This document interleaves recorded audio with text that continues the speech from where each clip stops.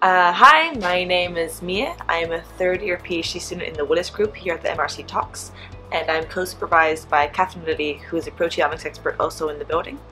Uh, it's my third year now doing a PhD in the unit, and so far it's been a really great experience.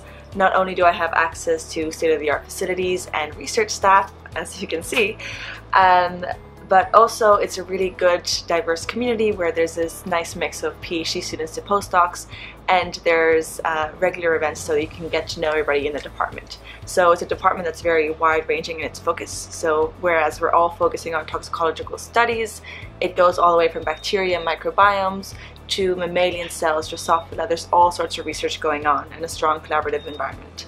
The reason I chose to do a PhD in an MRC unit um, is because it's a very well funded um, institution that has a lot, of, a lot of strong ties with industry and different sorts of applied sciences.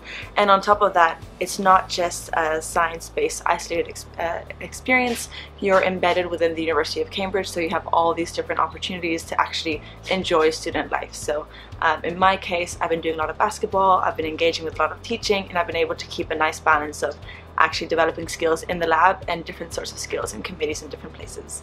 So I would absolutely recommend this to anybody who's looking for a PhD.